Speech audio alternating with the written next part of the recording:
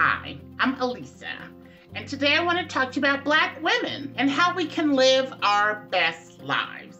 You know, we're told we're strong Black women and that there's nothing that can stop us and that we can carry our communities without needing support.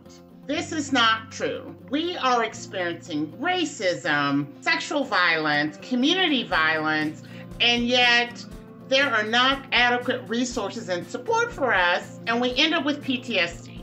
And we don't reach out. There is a perception that we just need to be strong and hold it all together. That is not true. You deserve help and support, and it is out there for you. So I encourage you to reach out, ask for help, and demand that you get the help and support you need in order to be your best self.